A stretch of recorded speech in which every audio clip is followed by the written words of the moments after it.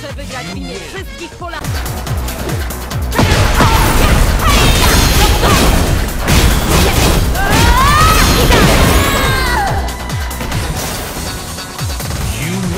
Umieram z głodu.